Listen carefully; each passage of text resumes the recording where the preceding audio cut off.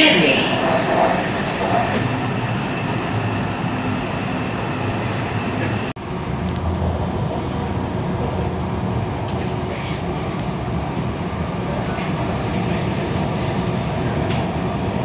akan tiba di Bukit Dukun.